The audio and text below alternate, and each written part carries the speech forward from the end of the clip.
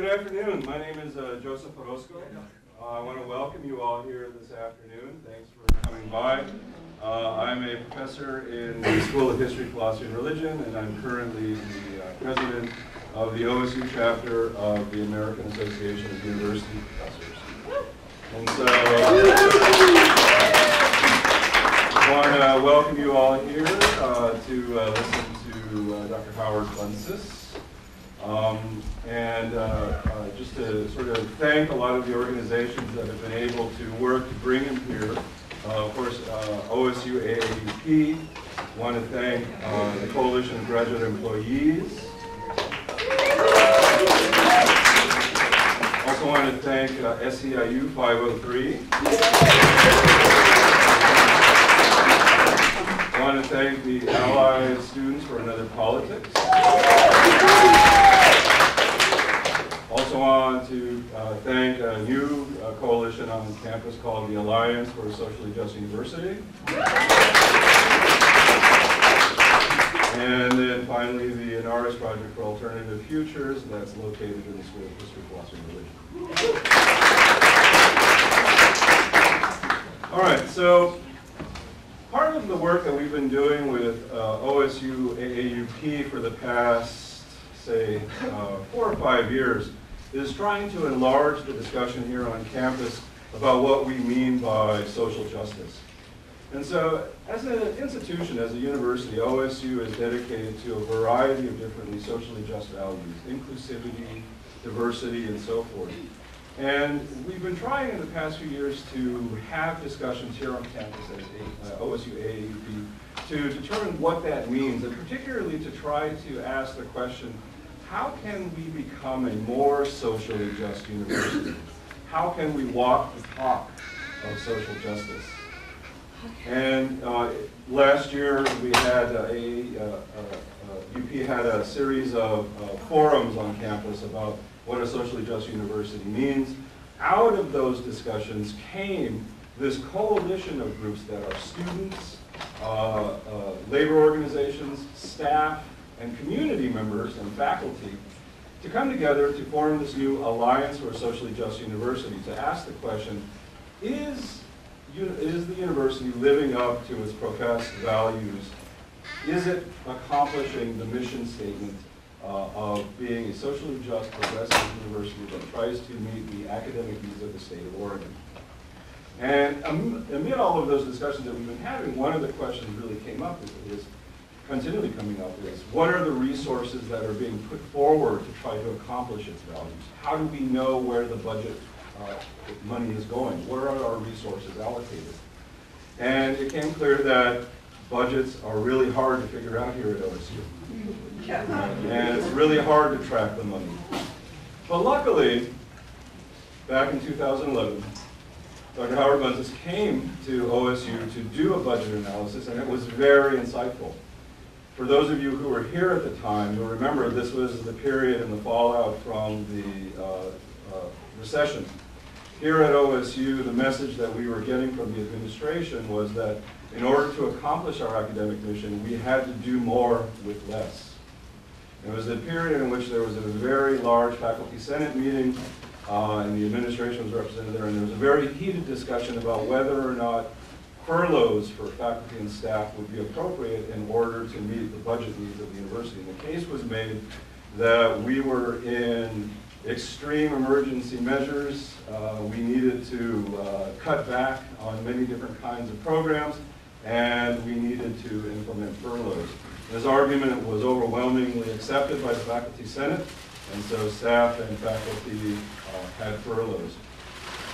Howard came at this time and did an independent analysis of the budget, and his conclusion was quite contrary to what we were hearing from our leaders at OSU. What Howard determined was that OSU was really well off in terms of how much money it had, uh, and that austerity measures were not necessary. And so the question is, where is the money going? What are we paying for? And is our budget a moral document? That is, does our budget track the values that we profess as a university to uphold? And so the socially just, uh, the Alliance for Socially Just University and other groups have been asking again, we need an update about where we are with the budget at OSU. And so we were lucky to be able to invite Dr. Howard Bunsis, who is a professor of accounting at Eastern Michigan University, to come and to uh, talk to us a little bit more about where we currently stand and what are the possibilities for creating a better uh, and more effective socially just university here at OSU. So please help me to welcome Dr. Howard Bunsis. Thank you for that. Uh, I really appreciate being back here. Uh, And a couple things to start logistically. Uh, This presentation, uh, as soon as we're done here today and I fix up any mistakes that you tell me I made, uh, is yours. I'm a volunteer, no one's paying me to do this. So uh, this presentation is about your university, and I will make it available to the faculty, the students. How many students are here, by the way? So that's just great to see.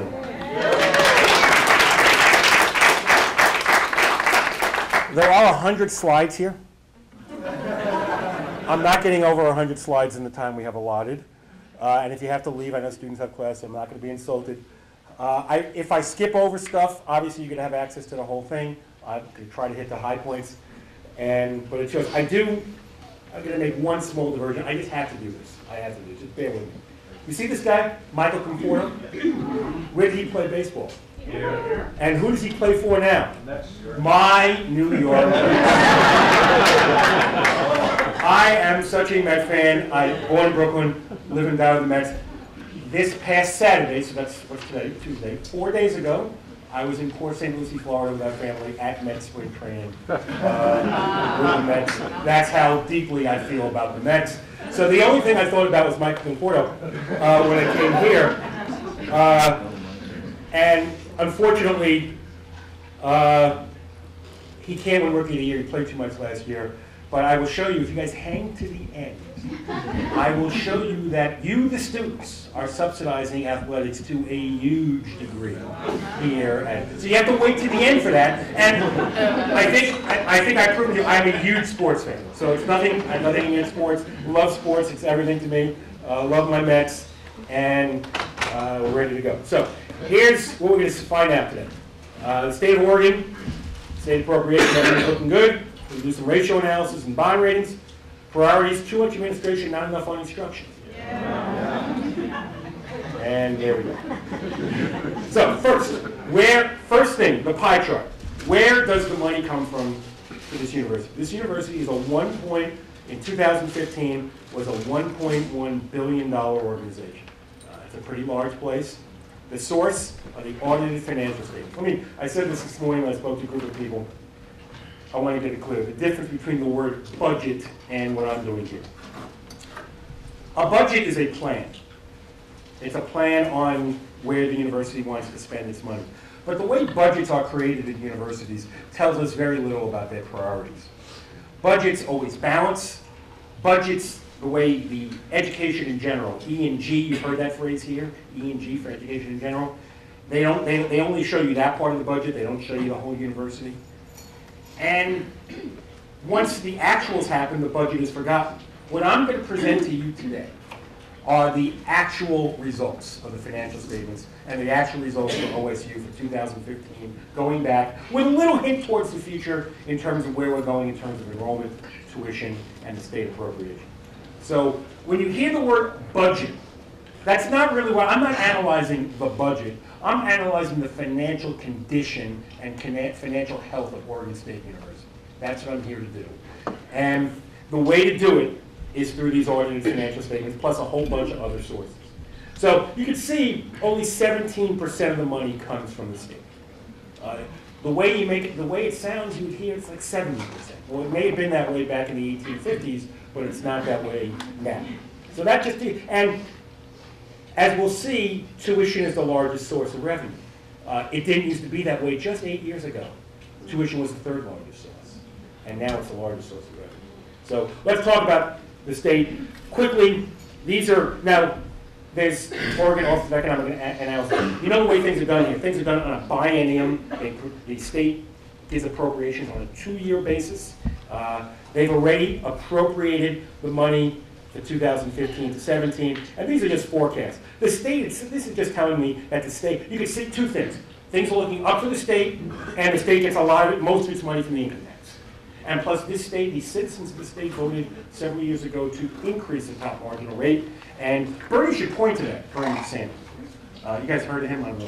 The other person I spoke to hadn't quite heard of him yet. But, um, that's a joke. Uh, love Hillary, absolutely love Hillary.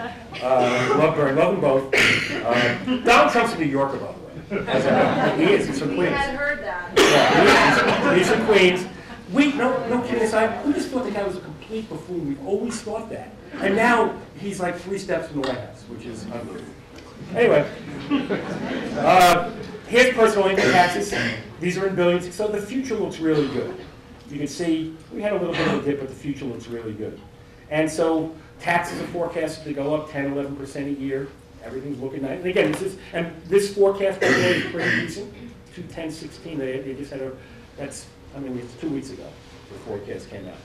So unemployment coming down in the state, still a little higher than the national average, but you can see how closely your state unemployment moves. And understa- understanding, and Bernie's made this point, Bernie, by the way, was at Eastern Michigan University uh, last Monday, uh, and we were able to go, and it was, if he, I- if he comes here, or if, it, it's just a lot of fun. It's just, it's just a, it's just a blast going to an event.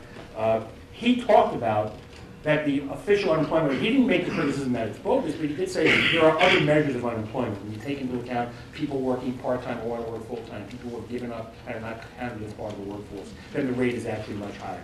And he made that point, and it is valid. So, Could you check and see people way back there can hear you? Yeah. You have a lapel mic here. Could you guys hear me back there? Yes. I'm from New York, I can talk really loud.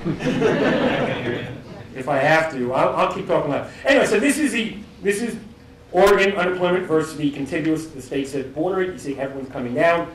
Uh, Idaho's got six people living there, so we don't worry about that. That's New York. That's the- I've been in Idaho, uh, when I went, I, I went to Pullman to Washington State, and apparently Idaho's like right next door. Uh, So they dragged me to Idaho, and I said, okay, they're in Idaho. That was the end of that. So you can see the appropriation, you can see what the state did. This is for all the universities, and we'll look at OSU. All the universities got hit really hard uh, in that biennium, and things are looking better. So it's all part. And, you know, the, the discussion about the furloughs here, I mean, look at the income tax revenues. When this was, I mean, look at the higher ed appropriation, what happened, even though tax revenues were going up. Uh, OSU didn't need to furlough you guys, this legislature didn't need to do what they did to the universities, uh, but it happened. And so this is just OSU, the total appropriation. All government sources, federal, state, everything, county, everything we can look at. I think what's disturbing is that the total still isn't as high in 08. Now, in 16 and 17, those, we're going to finally surpass 08. But someone made the point earlier, this is before inflation. But you can see things are improving, but not quite where they were. Now, I, I, I do have some, I am an accounting professor, so I do like numbers. Uh, there is a test later for all you students. So we can, I'm, by the way, I'm giving a test when I come, when I go back next week. We have that, two of them. So, uh, just to shake this, things got very weird here in 14. In 14, all of a sudden, the Oregon University system just disappeared, went away, and the universities became independent entities. As I'll show you, the main effect of the independence here in Corvallis was the tremendous increase in tuition rate uh, over what it used to be, and we'll show you that. But anyway, this is what this, so you get money from the state in a lot of different ways. For education in general, just a statewide, lottery a little bit, that's a half a million dollars. The harvest tax, I said, well, I know where the harvest is, at. I know where the tax is, I don't know where the harvest tax is.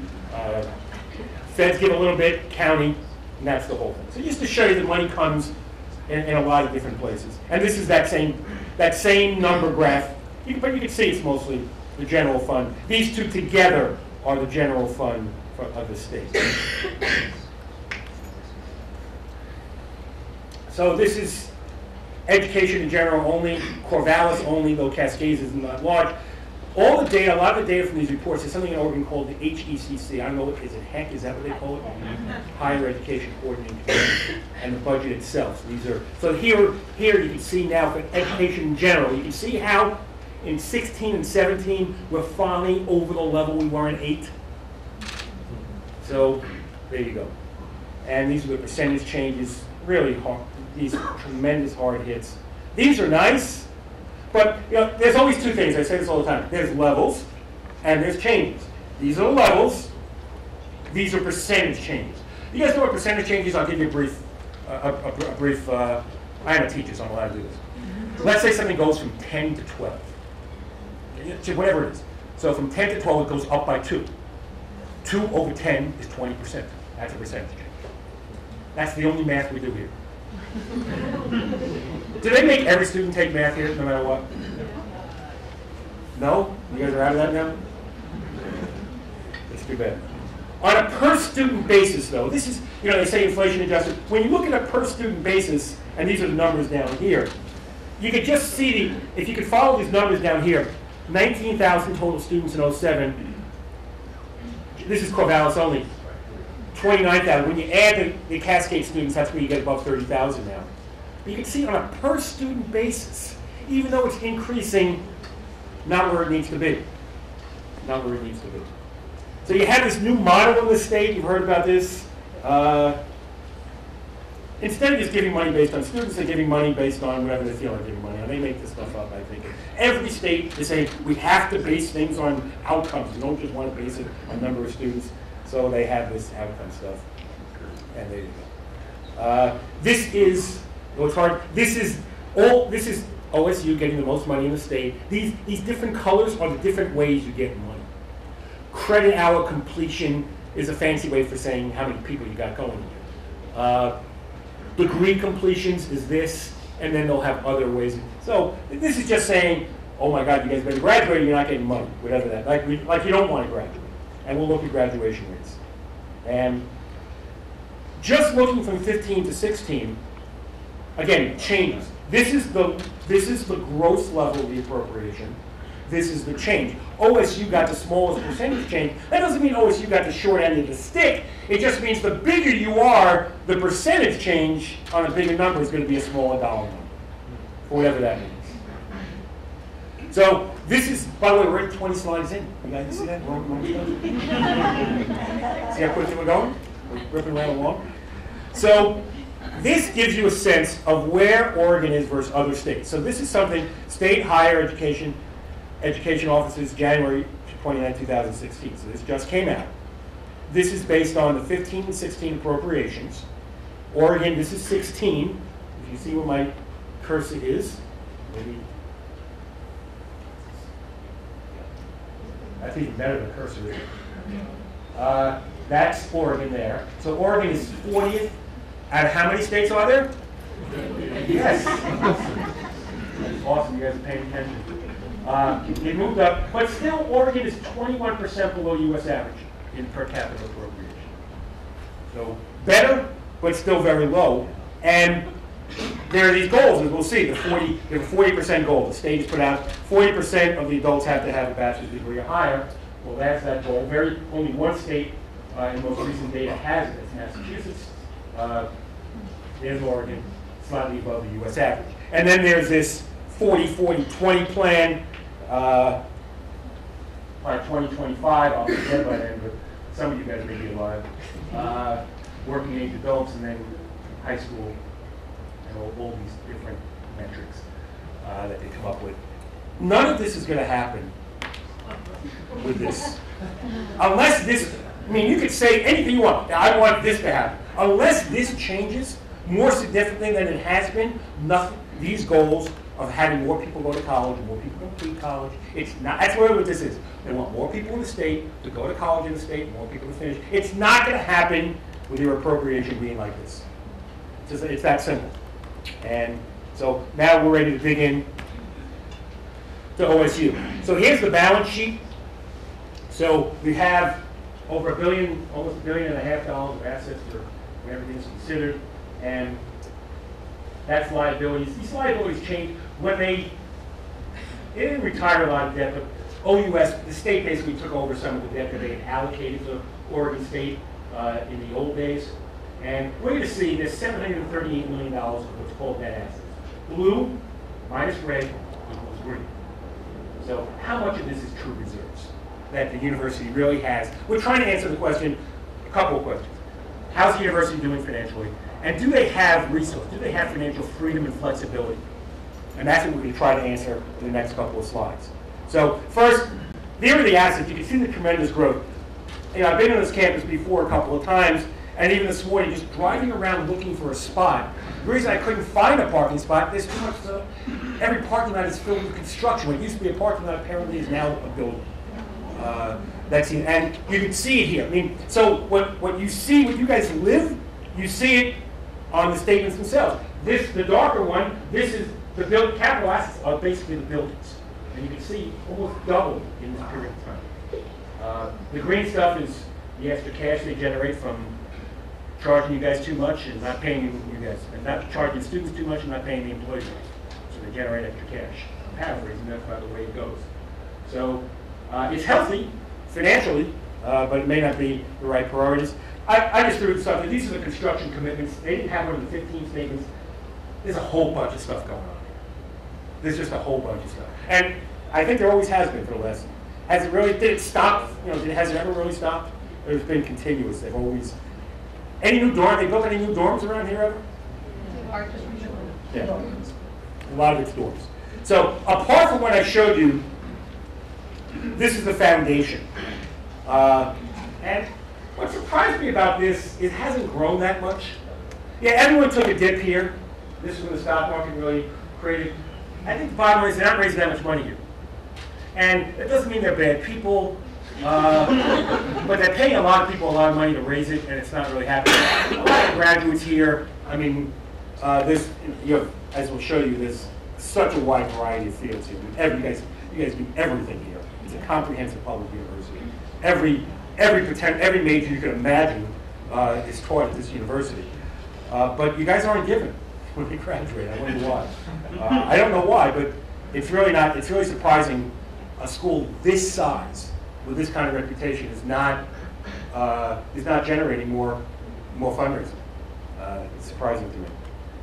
Anyway, this is all the, the fundraising itself. Is uh, Tony, you had sent me a question, I think, on, on fundraising, all that kind of stuff. I'll just point here. This is basically what they're raising: grants, requests, gifts, and this counts for cash and non-cash. And, uh, they spend, then they do support the university, the foundation, support scholarships and other things. The management expenses, these are the people that get, they, they pay to raise money. That's in millions. Okay, let's talk about the reserves and let me go back to this statement here. 737, 738 million dollars. How much of that is reserves? That's what we're about to answer right now. So how much of that's this 738 million rounded, right? So this is in that sorry, this is in thousands. How much of this right here are reserves? Well, we have four different categories. This is the green on that graph. And the unrestricted part is good, and the restricted expendable part. What's restricted expendable? Well, that's money that they have set aside for these purposes. They, they can't use this money for anything else, but they have definitively set money aside. And when bond rating agencies and others who look at this stuff, we say, how much reserves do they have? We count all the stuff because it's nice to have 43 million set aside for that, 34 million set aside for future student loans, 23 million in, stu- in, in capital projects. What that means is there's a project that's been started, and there's 23 million laying in the bank ready to finish up. That's what that means. And debt service, they have to pay. off. So these are good things to have. So that gets us at total uh, reserves for the university. And so you do all this. We have these ratios uh, that we do it with and without. And we have, we have these ratios that tell us, is the university doing well? So we have a primary reserve ratio, which is reserves divided by expenses. How many months of expenses do we have sitting around in reserves? This tells me one or two, which isn't that many, average or low. But when you add the foundation in, Now we're talking about three months, which is pretty solid. Do we have too much debt? Eh, for the reserve level you have, maybe you do, but when you add the foundation, you're doing okay. And the other two ratios we look at to see how are they doing, how are they doing in terms of revenue versus expenses. There was a deficit in 14. Now, are there any accounting or business students here? Not a single Not one? Seriously? Do they have a college business here? As I recall, it's actually pretty large. They're Lots probably all at the career fair that's happening right now. Oh, they're gonna be so. You're always thinking gonna come here, some liberal guy from New York, too. Uh, even, if- even if he's an accountant. Anyways, this up top is what we call the accrual method. That means we count something as an expense whether we spend the cash or not. This down here is the cash. And so these are our cash flows, these are our accruals. You can see 2014 was not a great year on either account. That 5.9%, what is that? The university generated 61, almost 62 million dollars of operational cash flows in 15, which is about 6% of revenues. That's pretty good. Anything over the 5% is pretty good. So what we do, all the yellows, what we do is we make a ratio score out of this. This is all that graph. I think it's a little better to see. So, thank you, Tony. So, there's the, the, the small cash flows, and things got, there's 60 million. You see that? So this is 15, this is 14. The difference between the blue and the green, the green is cash, this is the accrual method. We count stuff whether we pay it or not. And what we're left with, so what we do is we put all those four ratios in a mix, we give them a score, and out of the score, the best we can do is five. We don't want to be below 1.4. OSU went from 3.14 to 406. What does that even matter? Well, what we're trying to say is, how is the university doing financially? And you can't just say, oh, they're doing well. So we use these four ratios. We weigh them, we have different weights, and then we say, okay, how are you doing? And here are the definitions. Do you have too much debt? Do you have enough reserves? Are you generating cash flows? Are you generating revenues bigger than expenses? And this is what we get. And these are pretty good numbers, but you don't have to take my word for it. What matters, all those things go into a buy rating. And when I was here last time, I could not have done this. There was no bond rating for Oregon State University separately back in 2011 as well, because the bond rating was for OUS as a whole, for the Oregon University system as a whole. Starting in 14, your, your Oregon State is on its own. They now have their own bond rating, and in April of 15, they were given, for the first time, their own bond rating. And the bond rating that was given was AA3. Fourth highest rating out of 24. AA are high quality, subject to very low credit risk. Again, we're answering the question, how is Oregon State doing financially? And President Ray, in the Oregon financial statements, this is what he said in the 14th statement. I'm pleased to report again this year that the financial State University is very strong. then in 15, he said, I'm pleased to report again. he said, he said this twice. Uh, I'm not saying he's old, I'm not saying that at all. Uh, but the same exact quote was right in the Oregon financial statements, but it's true. So, it, uh, what I'm showing you is uh, you do all this ratio stuff, and you come up with a score. And I'm suggesting a score, what I'm telling you is a score of 314 or 406 tells me Oregon State's doing pretty well. Don't take my word for it. Take the bond ratings. Take your own president, in his own words. Now, this here is, these are the bond ratings of all the public universities in the country. So, AAA is the highest, only eight universities have that. AA1, and so here's where Oregon State. You can see U of O AA2, Portland State is here and they won. The state, as we saw, the state is, now the state of Oregon is not on here. All that's on here are the public universities in the country. You see, so, again, let, let's think about this. We've got a bunch of ratios. I got the 406. Some, some are good, some are not so good. But in general, I would say, I would, I would give it a grade of B.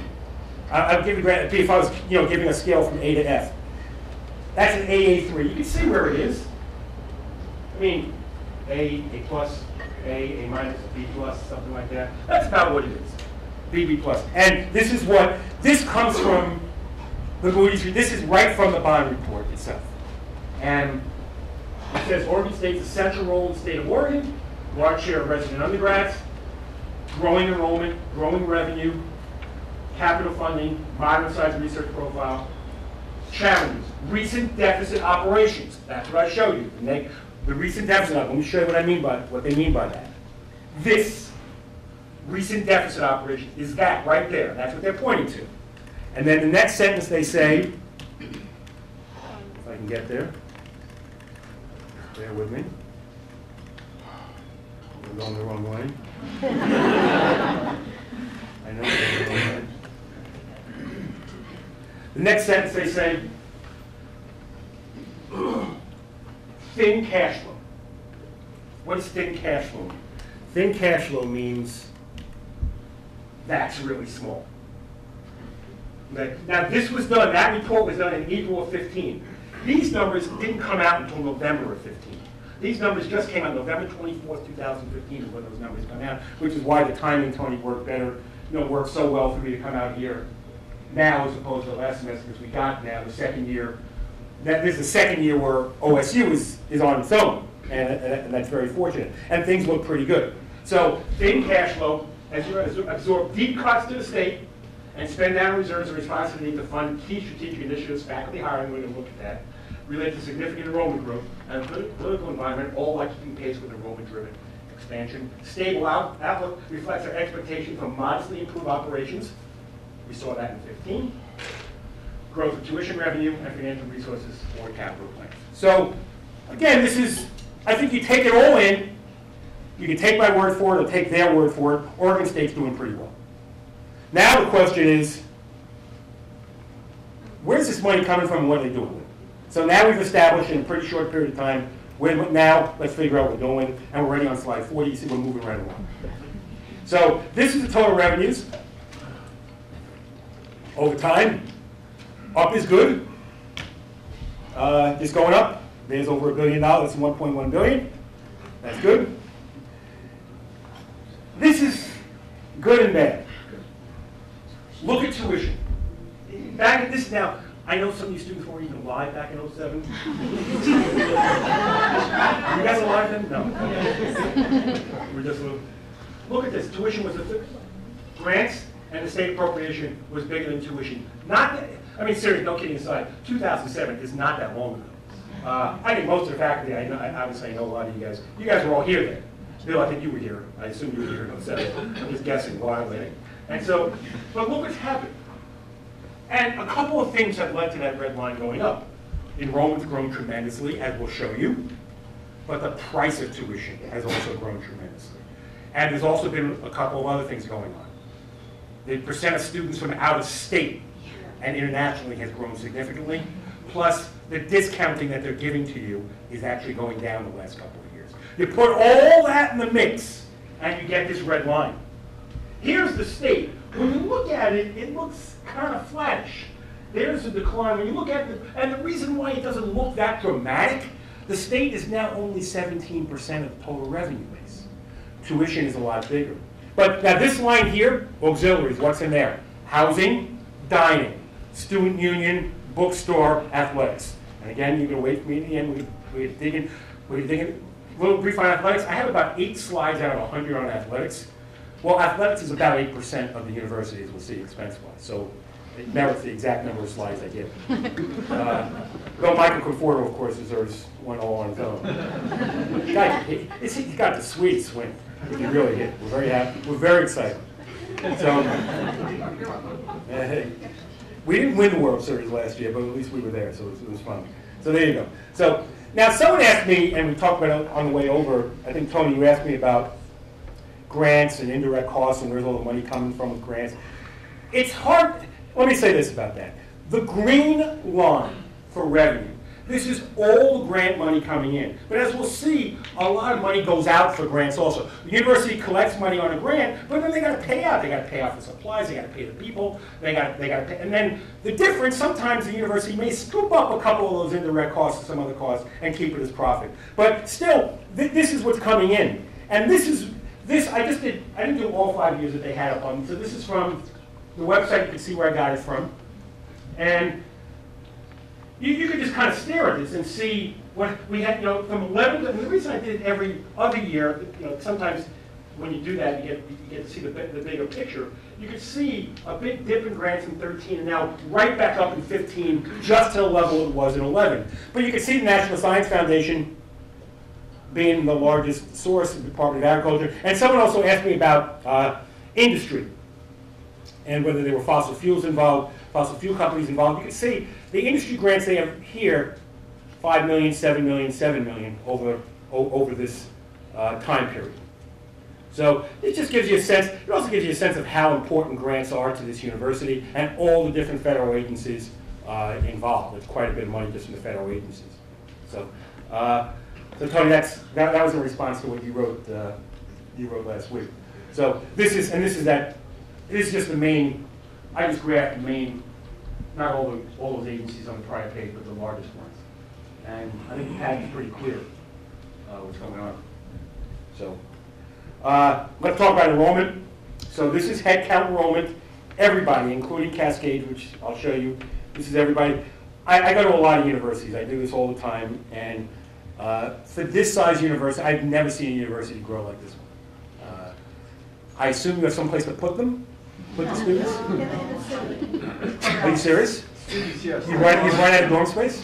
Uh, People are, the dorm space, there is adequate dorm space, it's not full, but many people have chosen, like a second, third, fourth year students, they don't want to. They don't want- they don't live on campus. And so it's a huge impact in the livability Corvallis. Sure. Uh, This is unbelievable growth. It really, you don't see this, uh, to have this kind of growth. For those of you who have been here this time period, I assume you feel it, you notice it, you feel it. Uh, And we'll talk about graduation rates and that kind of stuff uh, as well. This is detail on enrollment. I know there's a lot of numbers, but I think, just for me, Corvallis, 19,000 students to 29,000 students. That's a 50% increase in just an eight-year period. Cascade's a lot smaller, but also in, 100% means it's doubling. So a lot smaller, but I just thought I'd throw that in. Um, How about this? You guys ready for some math?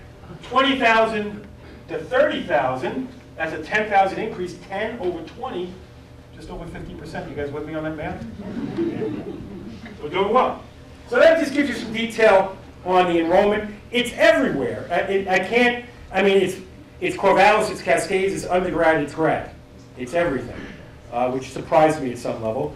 And here's what also surprised me. This is the residency over these last eight years. 80% from Oregon in 2008, now down to 60%. And the increase in out-of-state and international. And we were talking the way over here, the reason I assume is it costs more to go here if you're out of state. Uh, we'll see, look at those ratios in a second. Uh, it's pretty significant. And there's good things here. Obviously, uh, students from other states and other countries bring a different perspective, culture, all those wonderful things that people bring. On the other hand, the legislature is also always interested in educating students from the state. So you have to balance those things.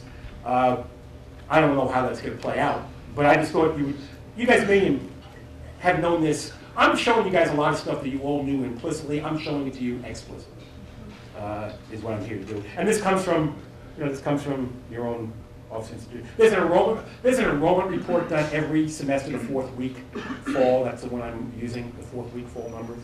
So here's intuition, undergraduate, in-state only. Uh, IPEDS, by the way, is integrated post-secondary education data system, U.S. Department of Education. It's where I got some old tuition numbers from. 79% increase in in-state tuition. And we'll look at it, we'll, we're gonna dig deeper in a second. So here's the tuition. Here's what I found, I'll tell you what I found surprising here. Let me get my pointer. What I found surprising is these numbers right here. These percentage increases from 14, the ones you're living with right now. A lot of you guys were here last year. I, I mean, I'm everywhere around the country. I do not see, I mean, my Lane University, I use the word Lane in the nicest way possible. Uh, We increased tuition 7.8%. We're a public, but not nearly as prestigious. I mean, I'm- we're not, I don't work at nearly prestigious, prestigious places here. But we increased tuition 7.8% uh, for this, you know, here, and I thought it was, but I was very surprised. This is what independence has done. And so the state legislature, from what I understand, has said, you guys try doing that again, we're gonna put you on double secret probation, uh, to use an Animal House phrase. You guys have seen Animal House. Students have no idea what I'm talking about. Five centuries. That hurts me. It hurts me too, man. That, you really hurt my feelings. But seriously, they did say, we are gonna nail you. If you do, if you do this again, we're really, we're gonna hit your appropriation. But, I, my, you, people at universities like this, it- that, that, it's not done, you wouldn't, they wouldn't have done it if the legislature didn't think, didn't okay it at some level. They had to know, they don't do things here without asking the people in in Salem before they do something like that. These are huge numbers. You guys, you guys aware the tuition went up this much? Yeah. Did anyone say anything? Mm-hmm. What about that alliance? A just, socially just, you know, okay. They, uh, they held budget meetings during finals week. Awesome, perfect time. Are you serious? Yep. Uh, The other thing I want to point out to you is the ratio between undergraduate, resident, and non-resident tuition. You can see it was 3.11 to 1 in '07, now it's down to 283. So even though it's still a lot higher, relatively out-of-state tuition got more attractive compared to in-state. It's not the only reason why this graph did this, but it's got to be some of it. They made it more, they didn't increase, the increases in tuition, if you look here, year by year, in-state, four seven, out-of-state, three six, four seven, three five, eight seven. So up until the last two years, last two or three years, in-state tuition is going up less, going up more than out-of-state tuition. What about discounting for the last three years? This is the percentage off the sticker price. And as tuition has gone up, they're actually giving you guys less of a break. Whatever that's worth. What you, Sorry, what do you mean by discount? Discounting is, let's take a, let's take a football player. I'll start with it. Sorry, just bear with me. Come on, don't give me that face. She made this face like, what the F is wrong with you? Give me a break here. A football player comes to, comes to Corvallis, he is not, he gets a hundred percent break off his tuition and fees. Someone who's comes from a very wealthy family gets zero. Someone in between, a football player and someone from a very wealthy family, uh, either low income or someone with a very high ACT score or has special talent in a particular field, they're gonna get a break off the sticker price 20, 30, depending on what it is. And that's what admissions people do. But football gets theirs no matter what. Uh, They get 85 of them, 85 full rides. That's what they get. And, and this is just the discount that comes from OSU, it's not like federal. Exactly right. Scholarships. Yeah, this is not, this is OSU's own. So tuition, now there's a peer group. I used, the peer group I used was the OUS peer group. Uh, There's a lot of different peer groups that are used online, but I think this is a decent one. I actually went conservative here because when I do faculty salaries, as I'll show you, you also have a peer group here that has Cornell and uh, Penn State, thank you, in there. And when you do that, don't take this the wrong way, but the salaries look even worse than they do now. Uh, Last is last, you don't have to be last with- and punish you. Uh, So I thought this was enough. And, but here's tuition. Uh, In-state, out-of-state, OSU is slightly lower. And Oregon as a whole has low, slightly lower tuition. Uh, But here's versus the other Oregon public peers, highest in the state. This is 15, 16. I looked at a five-year change, levels and changes. So level-wise, kind of toward the bottom, in the middle toward the bottom, but change-wise, you've increased almost the second most, and that's that. And that's, I think that, to be honest with you, the people that did these nine and 10% increases were looking at charts like this. Uh, I assume they were. So you put it all in the mix, and you get tuition revenue. What Matt, it's the number one revenue source. The green is how the percentage change in tuition revenue. These, remember, tuition revenue is a couple, two hundred and fifty million dollars a year. So we're talking, so close to thirty, in two thousand sixteen, there's gonna be a thirty million dollar increase in tuition revenue, uh, like for the year we're in now. In addition to what the state is increasing as well. They've got the money. Now the question is, how are they spending it? This is how they're spending it now. This is pie chart on the other side, the expense side. There's a lot of slices to this pie, aren't there? Uh, You're all probably surprised at how little that is. There's research is pretty big, so instruction, we're gonna add these together. This is auxiliaries, which kind of goes with that. You're not, students aren't gonna, you know, you say students are moving off campus, but the ones that live on campus aren't gonna live here if they're not going to school here. I, the food's gotta suck here, I, I mean, so there's no way they're gonna live here just to live here. Uh, The greenish ones are the admin functions.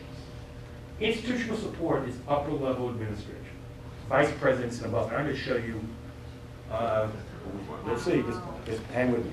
These are what the categories mean. Uh, A lot of numbers over time. Just a couple of things that bothered me. From 14 to 15, notice how instruction went down when institutional support went up? Does that seem wrong to you guys? Just me. Seems wrong. Those are thousands. Yes, so that's 240 million to 239 million. So instruction went down about 4 million, and institutional support, upper level admin went up 4 million. Maybe they should be, re- I'm just saying. This from their audit statements. So this is over time, you can see instruction, this is instruction dipping, and there's that little down there, it did go up. This is research. Yeah. Auxiliaries, public service, institutional support. So it just gives you a sense of that. These are, this is what I talked about from 14 to 15. Institutional support went up 6%, instruction went down 1.6. Student aid. Tuition going up, student aid going down. I'm just saying. Hey, don't blame me. Uh, Come on, I'm just telling you what it is. Thank you, Bill, appreciate it. Appreciate. Question, Question? could, could I ask where, like, staff, classified staff We'll, we'll get, is in there? yeah, that's a good question. Classified staff, and I'll show, we're gonna go through the employee groups. Classified staff are in here, they're in here, they're in here, and they're in here, and they're in here. Uh, But not really so much in student aid, but academic support, uh, student services, auxiliaries, public service. They're in various different, and I'm gonna have another breakdown of employees, if you bear with me. This is peer institution and research, adding them together. I'm adding the two main categories together. You see how OSU does versus peers. You see a little toward the bottom, you know, toward the bottom, but not last. 60 slides in, you see we're moving. Uh, Here's the data. The data's important here. So instruction, OSU. This is now, I'm using IPEDS data because we don't, that's the most, and 2014 is the recent we have. For OSU, 28.9% on instruction. The peer average, 31.5%. So OSU is 25 million. If they, if OSU spent the peer average on instruction, they'd be 25 more million dollars put into the classroom. Mm-hmm. Research, they're 4 million below. You take it together, OSU is 29 million below the peer average. Together, you can see 50%, the peer average 50. It May not seem like a lot, but 29 million is a lot of money. Yeah. This is upper level admin. So this is upper level administration as a percentage of total expenses. So here, OSU is towards the top. So the peer average is 6.4. OSU is at 7.3%, which is 8 million ahead. So they're 29 million below spending on average on research and instruction, 8 million ahead on administration. You're laughing back there, young man. I, I, I assume that's a laugh of, you figured? Yeah, it makes sense. It makes sense. Uh, So, I, I don't know what you do about that. I'm just telling you what is. So, all right, we're ready to move on. And I'll, let me, okay, let's go here. This is just looking at salary. So if I look at instruction only, and I look at all the salaries that are getting paid, instructional salaries have gone up. You can see in here, the president threw a lot of money at people in 12 and 13, we'll see that. You guys know that. You can see right now, instructional salaries are 35% of the total. Research salaries, way down compared to they used to be. When I add these together, if I take just salaries of the people who do instruction and do research here, two core functions of this university, it's now 57% of total salaries, it was 60. So here, I'm comparing the two together.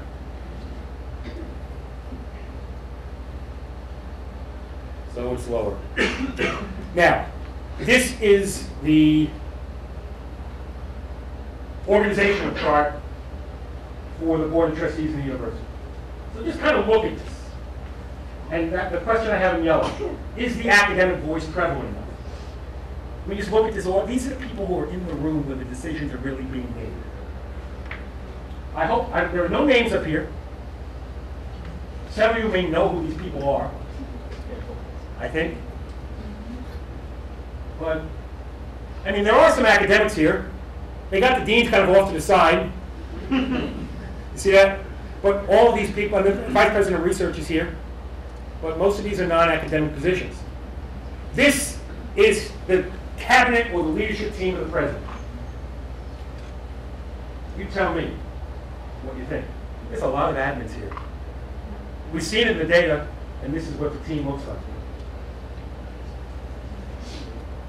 There's some faculty on here. I don't know if there's a student on here. Is there? Um, One associate president. It's a big group. Starting in, this is the last year this data source has the salaries. Uh, we're going to have to do something else to get these. The newspapers typically, in most states, California, for example, Sacramento Bee does it, they're the ones that publish and put online all the salaries of the universities. The Oregonian here, my experience is, uh, they're not exactly the most progressive. Is that a fair, is that a fair statement of that? Fair statement, thank you. So, these are the most recent salaries I have. These, there are 38 administrators in 2014 who made over 200,000. No names, just positions. What surprised me, if I can, athletics, athletics, athletics, athletics. There's the president, athletics, athletics, athletics. Athletics, athletics. I'm just saying. You with me on this?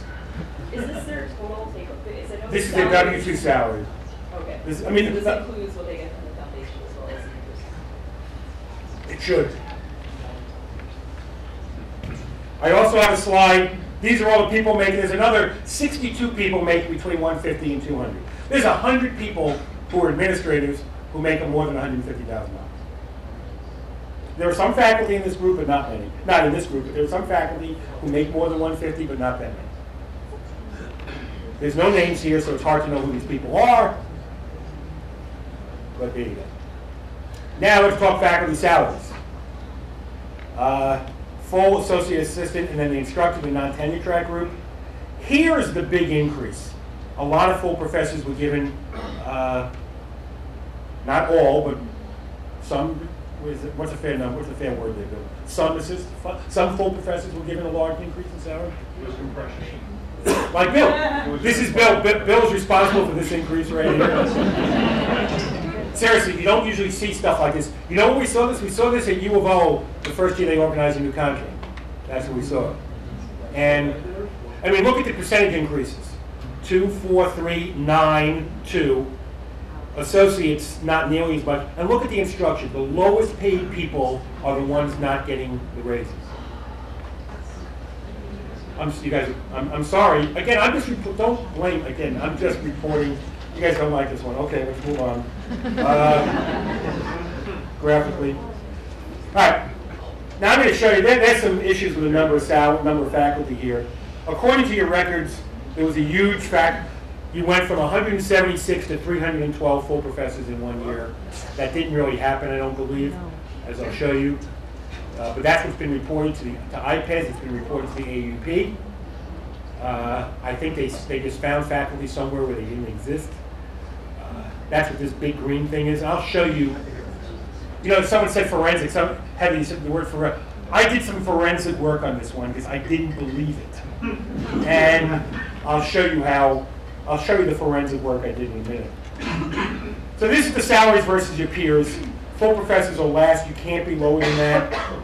but not for associates and not for assistants. Things have gotten, I mean, things aren't terrible, but full professors, even with those huge increases, are still 11% below peer average. Associates, 2% below. Assistants are at, uh, it's not a surprise that assistants are at, assistants get hired in at market. Uh, so it typically should be not that much behind. This is what it looks like graphically. Yes, Are these like full-time salary rates or are they? these are average salaries. These are average salaries of all the people who are in the group. Okay, but it's the, it's not salary rate, we're at a one oh FTE, it's actually the dollars you take home at whatever FTE. Those are the nine month salaries. It's nine months, these are all nine-month salaries, and someone's paid over twelve months, it's reduced to a nine-month. It's all nine-month equated. It's nine-month equated. That's the way to do it. So if someone is paid nine months, which most people are, if someone's paid over eleven months, it's converted, you don't put the eleven-month number, you convert it to nine. Yes? Do you have salary data across colleges? That I do not have. This comes from the AAUP salary survey. The university, it's a good question, because the university itself, they start, as of 2011, they used to, and then they stopped doing it. We publish all the salaries, so you can. They do, but they used to have a fact, they used to have, a- they had something called a faculty report, where they had the salaries by college. Oh, They you just don't have enough administrators. Yes, they need more administrators. Yes, Do you have any information on faculty, research assistants, like not just professors, but Grad, I, I, I will show you some grad assistant research, I'll show you some numbers, but not this, I can't give you their salaries, but I do have the numbers if you bear with me. So, from 10 to 15, things have gotten better. Back when I was here last time, the average full professor was 22,000 behind, now they're 14,000. So they made 8,000. The average associate, so they've all made ground. So levels not so great, change is okay, is the way I would put that. This is where you are versus the, the other publics. You can see the UO faculty making a little more than OSU. Not that these are good comparables, but I think, you know why I put this up in, in, in, like, in my state? Comparing my university to the University of Michigan makes absolutely no sense. And, and I'm not saying OSU to Eastern, Western, and Southern is, is a direct comparison, but a lot of, given that you used to be in the same system, and given so much what the legislature is saying is that we want everybody as a group to do this, this, and this, we don't have that in my state. Every university is completely independent. There's still, even though OUS broke up, there's still some sense of you're all, we, we want to do this, we want to do certain things together, such as increase the graduation rate and things like that. So this is the Oregon peers, the percentage changes. These are the levels, these are the percentage changes. And UO, this is the benefit of the union contract. I'm not going to say anything about the ones at the bottom. They have unions. They also have unions, I'm aware of that. Now I'll try to answer some of your questions about grad. So this is, IPEDS has a whole group of non-instructional. Someone asked me about classified staff. This is the way IPEDS classifies employees in all these ways. Uh, It's hard to know exactly who SEIU represents and where they're in the different groups, so I think, I, it would be nice to know that, and you- I think you should know that. Uh, if, you know, if you're representing people, where they are, where they are in this chart. This is upper level admins, there's more of them, as you can see. And this is how many non-instructional employees there are. It's a big place, a lot of different people. There's something called an employment report that comes out every month. They claim to have 3,700 faculty. That's, I mean, let's face it, that's AAUP, I think I have the numbers here. 1142 full-time faculty. Doesn't include part-time, but I, I think this is a fancy, I mean, I don't know where this is coming from. It's a huge number. It doesn't include part-time, obviously. Is that including professional faculty? It, it, I, I assume it does, but that's still, that's a big number. Here's grad students, now I, I I do have another thing on grad assistants, both graduate research and graduate teaching. I will break down graduate teaching in a second. So this is the number of grad, what kind of number of grad students has grown from basically 1,400 to almost 2,100 in seven years. And we'll see the grad, stu- I know we have a grad student union here, more and more teaching is done by grad students here, as we'll see in a second. So here's the grad student teaching at the bottom. 454, 875. I did it every three years. 454, 875, 1017. So these are the percentage changes. So from 9 to 12, grad students almost doubled. The number of grad student teachers almost doubled. See that? 454 to 875. This purple is a 16% increase from 12 to 15. Yo, you with me over there? Yo. Yeah. So that's, I, I know you asked about the research part of it, but this is the teaching part of it. Part-time faculty, certainly going up. I, I just, as I'll show you in a second, I don't believe this. This doesn't make sense, and I'll show you why. So this is the new faculty hires for the last three years. Tenure, tenure track in blue, and non-tenure track in red. Uh, a lot, they're hiring a lot of non-tenure track, full, this is full-time non-tenure track. These are new hires, and the provost puts out a, the associate provost puts out a book that has like a picture of the new faculty and says who they are. Right, that's, and that's where you find little profiles of all these people. It did not go, I mean, you can see the, and people leave. So 93 people were added. According to what Oregon State reported to the AAUP and to IPEDS, you could see about two, almost 300 people were added. So what, you know, where, where's this difference? You know, where, where is this difference going? Well, here kind of explains, here's my forensic work. Bear with me. IPEDS reports a 276 person increase in tenure and tenure track. AAUP reports 223. New hires in that year, 48. Non-tenure track kind of makes sense. IPEDS reports an increase of 20, AAUP an increase of 39, 45 new hires. This could make sense. Some people leave. Some retire, some leave, some, uh, I'm not going to use the word, but starts with D, ends with E, one letter in between. Uh, they die.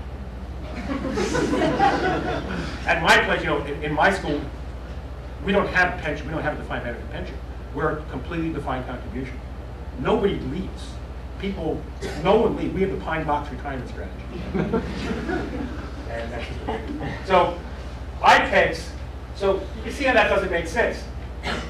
Full-time employees versus IPEDS, full-time employees AAUP. The common data set has that increase, and the employment report has that increase. So I'm not going to say people made a mistake, but there's not as many faculty as they said. That's, that's all I'm saying. So class size, as we're almost done here. Our class is getting bigger. I looked at three subperiods. I looked at the common data set says how many sections have between two and nine students, between 10 and 19, between 20 and 29, over 100. 408, you can see we had 413 sections between two and nine students. Now we're down to 146 of such sections. They're getting rid of all the very, very small classes.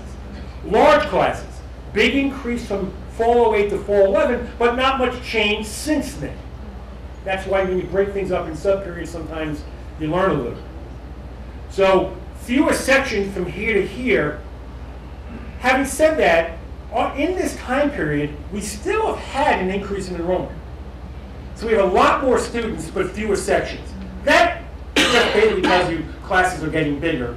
But most of the bigness in classes is occurring with the elimination of these small sections. That's where the, yes? Are you accounting for uh, growth in online student enrollment? Do they get counted in these sections? They're supposed to be. What they do is they take a snapshot, it's undergrad only, fourth week. Who, how many sections are there? They should not, they, it has, it has to be four credit. You do have some non-credit stuff here, it has to be four credit. That's the only distinction. So it should, be online should be here. You know, a lot of people have brought up the online thing. Uh, you guys see more and more online? Well, I, we'll, we'll say that for another day. I, let's just say it, it, it, I've never taught online, and, and I think I could say my age never will, uh, unless they make me. But uh, don't you guys like being in the classroom with students? Online classes cost more. Yeah, they, they, they charge an extra fee because they can. I'm not saying online teaching is bad, it can be done the right way, it can be more rigorous. I think for the tuition the kids are paying, they want to see us, I think. And we show up, we do. On time.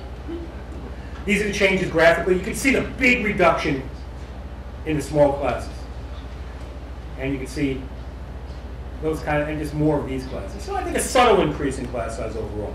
Good news on degrees conferred, you're conferring more and more degrees. This is good.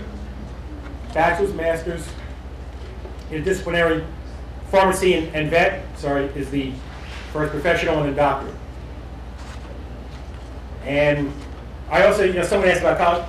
The, the data allowed us to, so here I looked at, just comparing 11 to 15, the different, within bachelor, bachelor of science degrees and bachelor of arts. This is not a typo, this is exactly the same number. So, just gives you, not, nothing, just to give you guys, it, to me as an outsider, it sh- again shows the incredible breadth of degrees that are offered at this university. Uh, there's everything. This is comprehensive and then some. Uh, that's Bachelor of Science. Here's Master's of Science. You see, and most, I mean, there's some red, but mostly, mostly not. The two first professionals are staying kind of flat. And here's graduation rates. Now, President Ray, two weeks ago, in a statement said that he wants a 70% graduation rate. The way we do graduation rates, you look at people who came in fall or two, did they finish by August '08? That's the way, that's the way, that's a federal graduation rate. It's a six-year rate. So the most recent data we have is here. You can see the graduation rate has been pretty consistent, 60, just below it, maybe a little above. And I think you see the percent graduating in four years. If you see down there, 31%, 25% in five years, 7% in six years. To me, given the students that are here, it's got to be financial why it's taking longer. The students are probably working more, uh, borrowing more, and it's just, just taking longer uh, for a lot of reasons. There's fewer sections offered, it's probably harder to get done. You put all that in the mix, and you get a place with the academic reputation that this place has, the incredible academic reputation, you would think that four-year rate, rate would be higher. But the students here are being, are really struggling, and plus, one-third of them are not finishing. Thirty-seven percent are not finishing at all. And what I have here is the peer graduation rates along with the Pell Grant rate. The Pell Grant is a federal loan. Hey, Dwayne, good to see you. Sorry, but uh, that is you, isn't it? Uh, see, I remember. I, I remember people. Yeah. People say, "How can I remember?" How can I not remember you guys? Come on. Uh, it, it's a federal program for low-income people, and OSU is below the peer average in graduation rate, but a hot above the peer average in Pell rate, as you can see. And there's also, President Ray also said the one-year retention rate is people who start in the fall, how many came back the next fall? And I, I actually found this kind of low. 84% is where it was at. That means one-sixth of the students don't even come back to the second year. We're here at the one year. Uh, that's a lot for a place like this.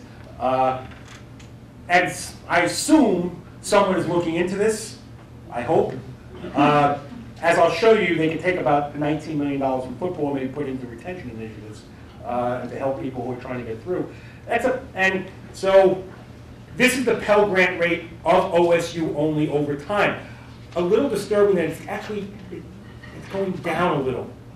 Now, we'll see what it is next year. You know, I don't have 15 yet, uh, but we'll see. So it just gives you a sense of that. Now, this is the Oregon Publics.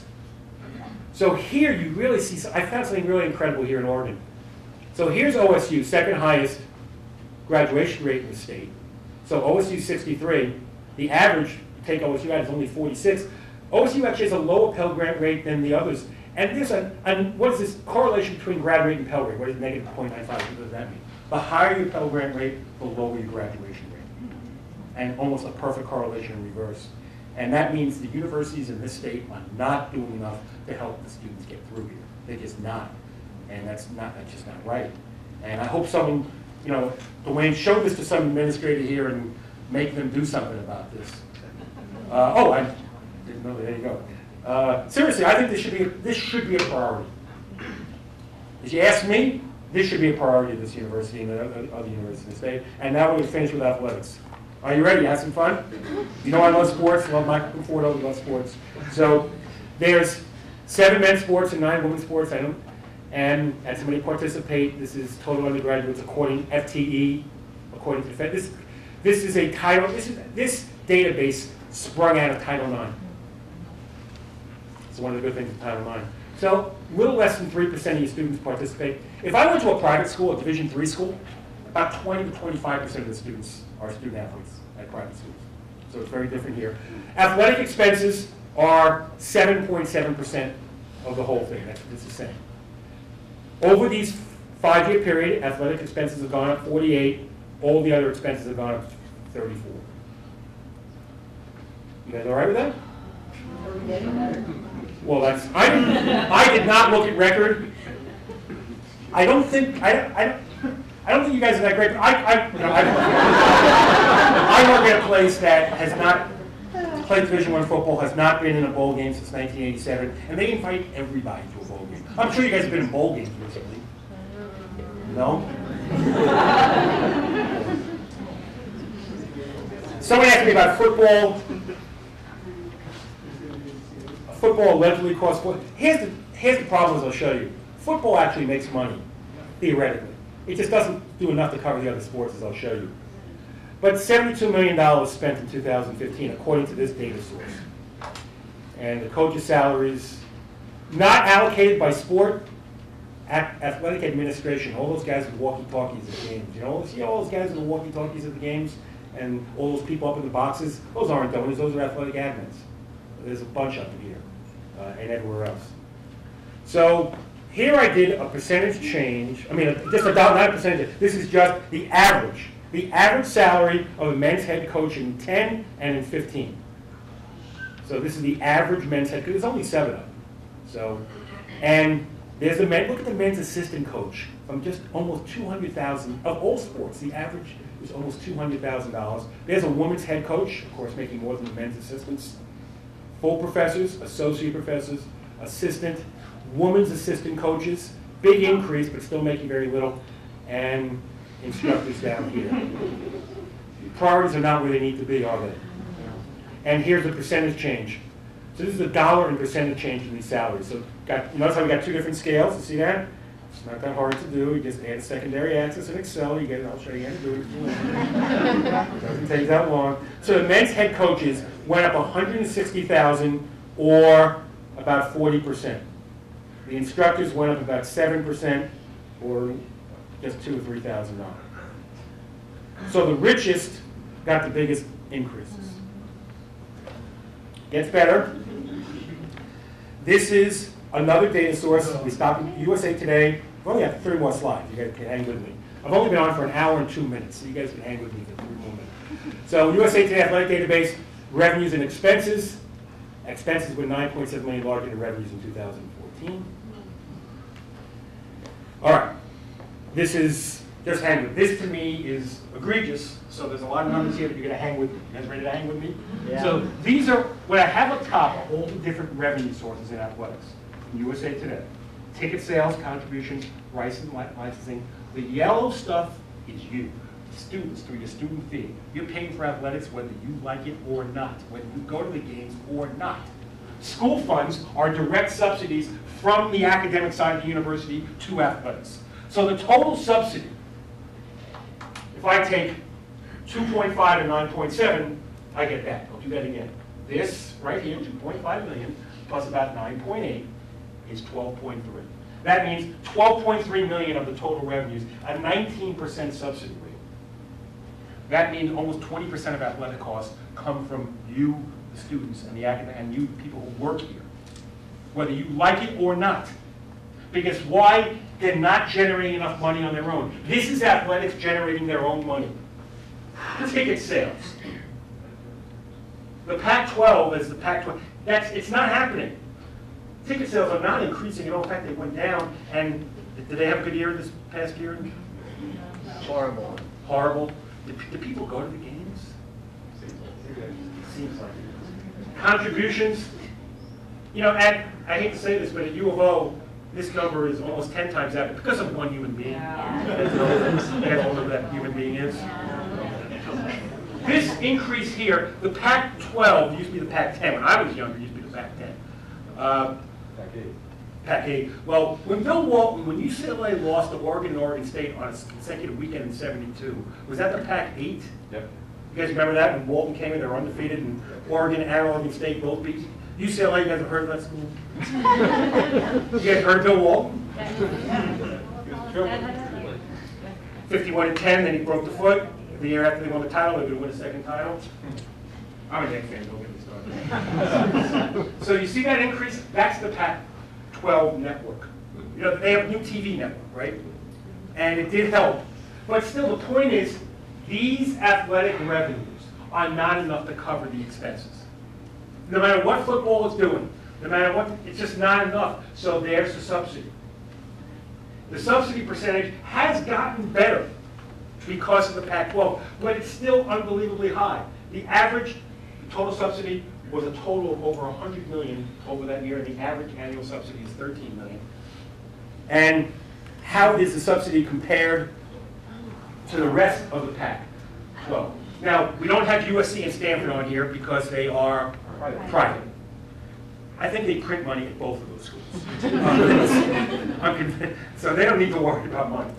But, you- so these are all the public universities in the conference.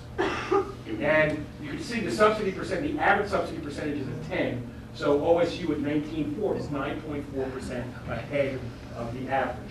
The average subsidy is 7 million, you guys are at 12. And here's the most disturbing thing, and here's where I see it getting worse. OSU is spending almost 8 million less than the average school in this conference. And you're telling me they're not winning. So what do you do when you're not winning? You fire coaches and you pay new ones more. Well, In- still paying the old coaches. And still pay the old coaches. Now, didn't Obama's brother-in-law coach basketball here? Did he get fired? Yes. They fired Obama's brother-in-law? While he was in office? Still paying them. Let me say this. I, you know, I love Obama, you guys can tell that. He went to Princeton when I went to Penn. And any of you guys know Penn Princeton. Uh-huh. So I was glad to see anyone from Princeton do poorly. But he did go, to- he, did, he played at Princeton. Craig Robinson played at Princeton. He was very, what's that? He may have, well, Pete Carril coached there forever. He may have been in the team. He was probably an assistant there. But you see, what I'm saying is, in all seriousness, they're gonna have to keep spending more money. And where does it come, where is that more, where is that extra money gonna come from? You guys. So, you asked me about this stuff, so there you. You don't like the answers, do you? All right, so here is another graph. So this is the Pac-12. So I think, here's U of O, they have a, almost, a- almost a zero percent subsidy. They spend the most, but they're hardly subsidized. UCLA, UW, and so here's OSU. You can see the spending is less, but the subsidy is highest on a percentage basis. So I think that does not bode well for the future. So, you know, at the beginning in the introduction, you guys talked about priorities. Well, what's going to change this? I don't know what's going to change this, but we go, we're going over this everywhere we go. Uh, HBO Real Sports is doing a story on college sports, and hopefully uh, they interviewed me, and hopefully we'll be on there. That's not going to change anything. What I see here in this conference, at being a sportsman, they're going all in, and they're going all in in one sport, and that's football. Uh, you know, baseball, we joke about Michael Conforto. People go to baseball. You know, baseball's done historically very well here, I assume. And he's not the only player from this school that- that's in Major League Baseball today. Uh, but that's not where the focus is. The focus, it's all football. And I got nothing against football. I just think we've lost that way. I think we've lost that way. These coach, did you see the the salaries of, like, of the top ten highest paid people here? Six or seven of them are football coaches. Uh, that's just not right. Uh, and again, I'm, I love sports. I do. I just don't think that should be the priority here at Oregon State or at other public universities. So, uh, that is it. I'm done. Thank you.